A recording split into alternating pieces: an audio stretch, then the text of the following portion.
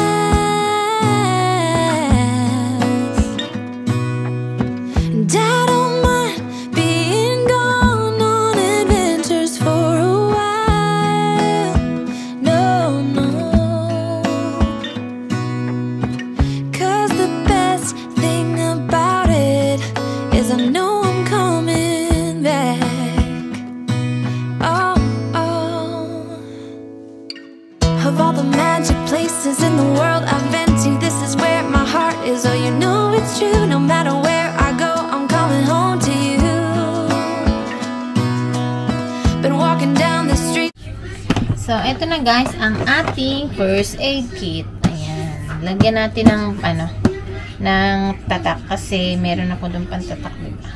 So, lalagyan natin ng name. Um, back. Dapat capital letter. So, eto na guys, ang ating first aid kit. Gupitin ko lang. Ayan. Then, lalagay natin dito sa may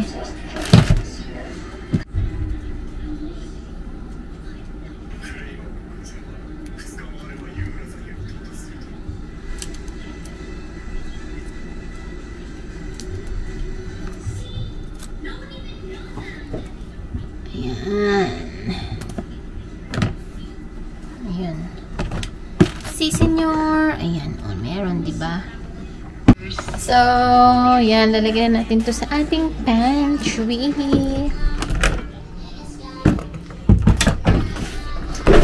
Ayan. Dito ko guys ilalagay. Show. I will show you po. So, ayan. Dito natin siya ilalagay sa ibabaw ang itsura ng pantry ko, no? So, ayan. Um, uh, daming nakalagay. Wait lang. May mga mas pa dito. Nakikita nyo ba? Nakikita nyo lang pala. May mga mas pa dito. Ilalagay ko na doon sa labas. Basta dito ko muna siya ilalagay. Dito siya nakalagay. So, alam ni Eric kung saan kukunin ang ating first aid kit in case na may mga ano. ba diba? Mainam na yung meron tayo nito. Yan, dyan na nga lang. Dyan na lang yan.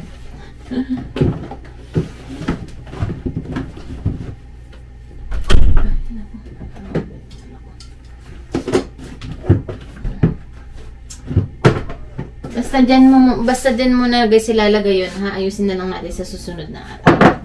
Tignan mo, ito yung regalo sa akin ng Pasko. Ang cute niya. Bigyan ng ano. And then, I will show you naman yung aking lalagyan ng mga gamot. So, ayan guys, ang aking lalagyan ng gamot doon dito sa likod ng pintuan ng aming pantry. Yan. So, in case na si Eric, at least alam niya kung saan kukunin yung mga gamot natin. Kaya lang, hindi pa siya, hindi na, may, may iba kung nakalagay eh. And then, ayan. Oh, so ito, ayan, itong vitamin C, vitamin C, ito, ito yung bukas, vitamins nila Liam. And then, Tylenol, tapos Vicks na, na pads para sa humidifier. Ayan, yun yung Tylenol din to.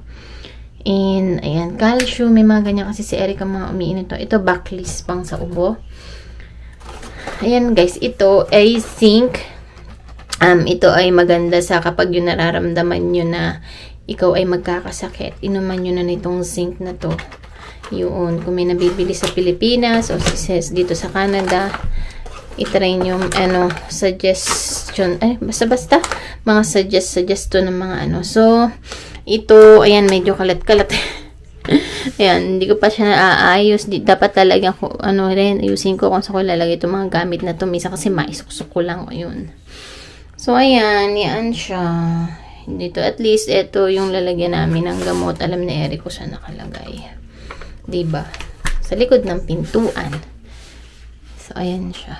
And si Liam din, alam niya kung saan yung kanyang vitamins. So, tayo nga pala ay naglalaba ngayon. Punta muna tayo ng laundry, guys. Kasi, ayan, face ko um, naglab, mag, naglalaba ako ng ng kalahati lang. Kalahati lang yung ating nilalaban ngayon. Kasi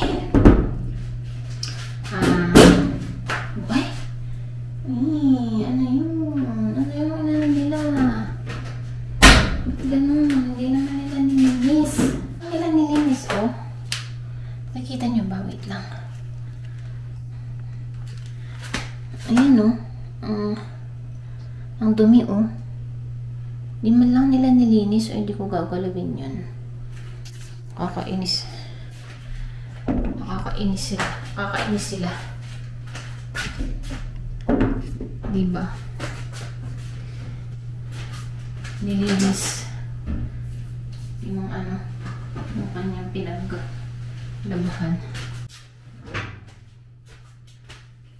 Buti na lang, isa lang yung may isa lang yung may dumi. Kasi guys, common ang aming washroom, di ay washroom ang laundry dito sa aming sa aming apartment. Pag usually pag apartment yung inupahan nyo, um, ano siya, common yung laundry.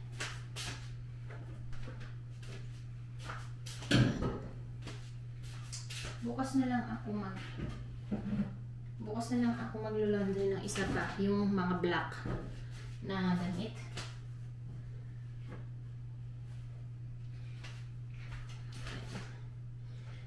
And then, lalagyan natin ng bounce para hindi siya, alam mo yun, hindi siya, ano tawag doon, yung marami, may static ganon. Tapos mabango din ito. Ayan, lalagyan lang natin ng dalawa. That's it. That's it. So, yung aming laundry ay pwedeng may card at saka pwede siyang dito sa cellphone. Magre-refill muna ako guys ng $10. Kasi ang bawat dryer dito ay um, 250. Tapos kung gusto mong gawing mga 5 plus 5 minutes, edi magdagdag ka ng 20, 25 cents ba? O 25 cents yata. Ayan. Ayan. Tumutunog siya. So, pipindutin natin. So, ang gagawin ko ay magdagdag pa ako ng ano,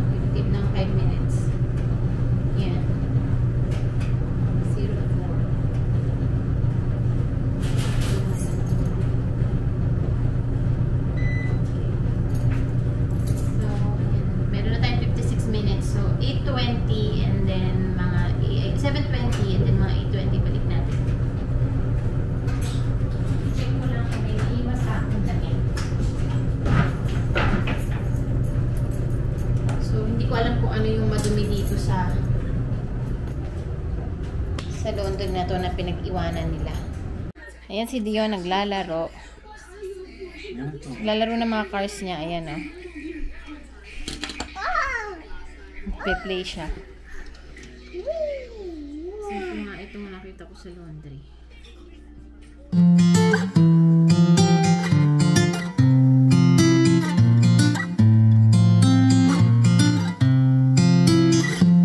요즘 사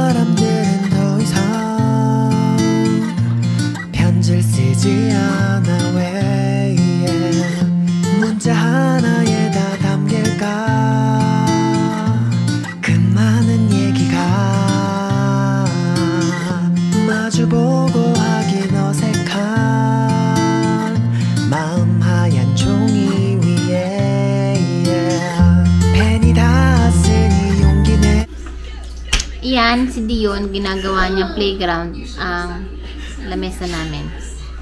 Kaya pag ano, ay puro footprints niya yung aming table.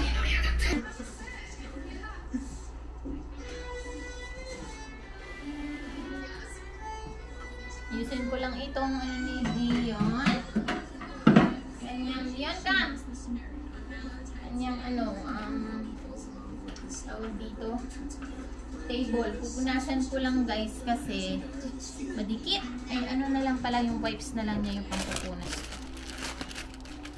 Ah, kasi kumakain siya dito, di, di ba?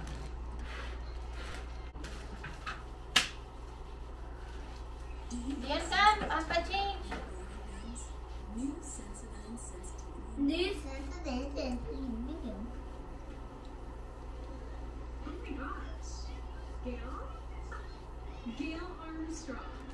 So, ganyan lang kami guys sa gabi. Pag alis ni Eric, so manunod ng konti. Pag may pasok si Liam hanggang alas 9 ng gabi, ah meron pa siyang isa't kalahating oras para manood. Kasi, pag may pasok siya, lagi ko naman sinasabi sa aking vlog, pag may pasok siya ay, ano lang, hanggang 9 o'clock lang siya ng gabi. And bawal siya mag-iPad. So, yun, kahit na ako walang pasok, nahihiga, basta nahihiga na rin kami dun sa loob ng kwarto pag alas 9 ng gabi. So guys, tayo ay kunin natin ating laundry. Tingnan muna natin kung sino nasa loob. Kukunin ko lang yung laundry ko. Stay there, stay there. Okay?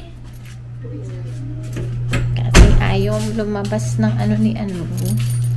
Yung ano ni Dion. Kanyang pupo lumabas ang kanyang pupo. Hindi yun. Ay, ay, ay. Nalaglag na siya.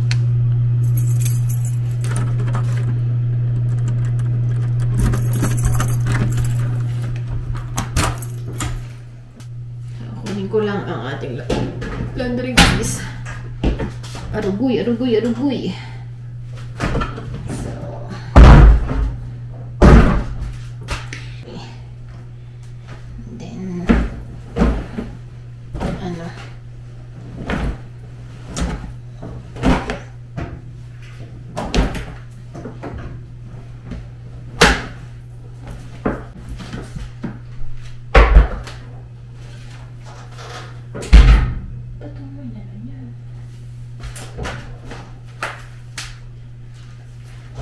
I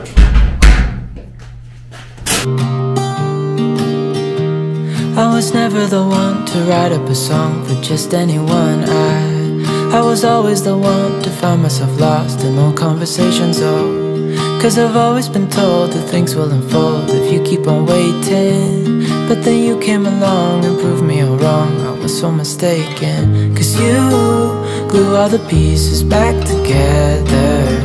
Yeah, you, you take all my wrongs and make them better. Yeah, you, you're making me wanna try forever.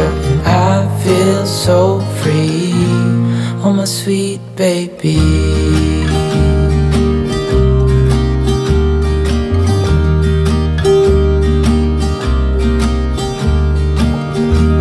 I was never the one to give up the ghost. No, I was so stuck. Kept on playing my part, wanting to give up cause nothing was changing. But with you, it's so clear. And now that you're here, I see colors in every spectrum. Guess I finally learned my lesson. Cause you glue all the pieces back together. Yeah, you, you take all my wrongs and make them better. Yeah, you, you're making me wanna try forever. And I feel so free. Oh, my sweet baby.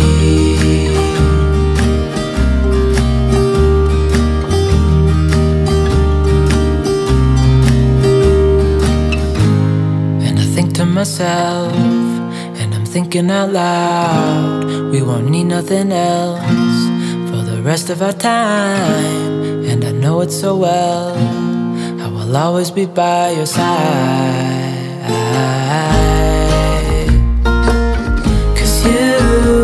All the pieces back together. Oo. Ayan. Um, anong gusto? Ayan na, oh. Masha and Bear. Alis dyan muna. Balin ko lang yung ano, unan. Ah, unan nitong mga aking mga kasamaan sa bahay. Anong gusto? Ah, Masha and Bear. So guys, yun lang ang ating vlog for today. Tonight, tonight pala kasi alas 9 na ng gabi and kailangan na matulog ni Liam. Kasi meron pa silang school tomorrow. And maaga pa hindi nang gising ko kahit day off ko, diba? So yun, um, yun lang sa lahat ng mga nanood. Maraming salamat. And, ingat tayong lahat. And I'll see you on my next one. Bye. I'll see you tomorrow.